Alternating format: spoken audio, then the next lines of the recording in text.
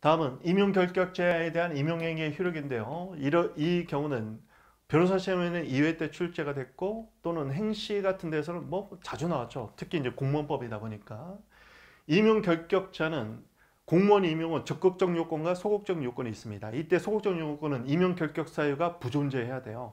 이때 임용 결격 사유에 해당되는 임용 결격자에 대한 임용은 무효, 무효인데 이때는 절대적 소극적으로 무효화시킵니다. 임용 결격 사유는 국공법 33조에 규정이 되어 있다는 것 정도 알아두시고 임용 결격자에 대한 임용의 효력이 취소 사유냐 무효 사유냐 견해 다툼이 있지만 판례가 무효 사유라는 거꼭 기억해 주십니다.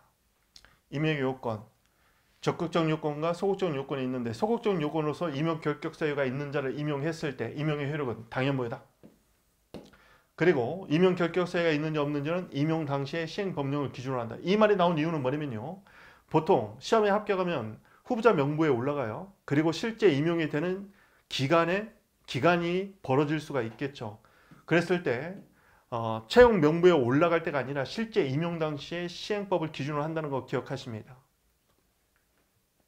자, 한 가지만 기억하세요.